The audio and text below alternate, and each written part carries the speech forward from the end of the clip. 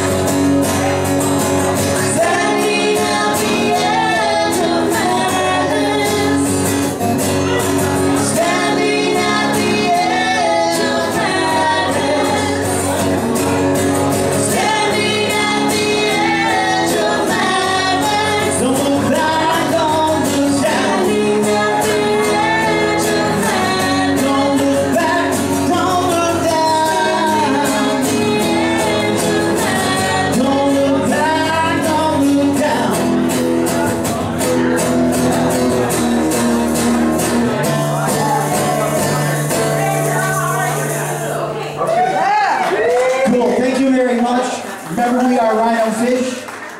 And uh, congratulations again for